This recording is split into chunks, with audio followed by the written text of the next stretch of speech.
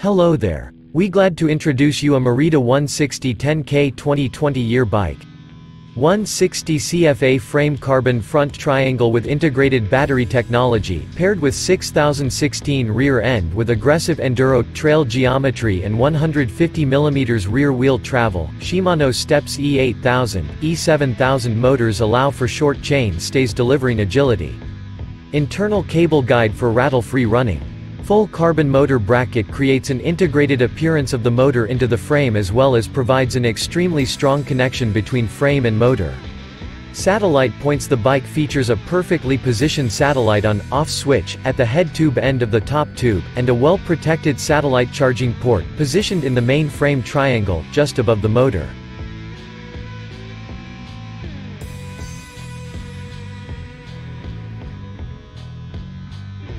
Do you like this video? Please follow the link in description or on the video to view the details. And subscribe to the channel.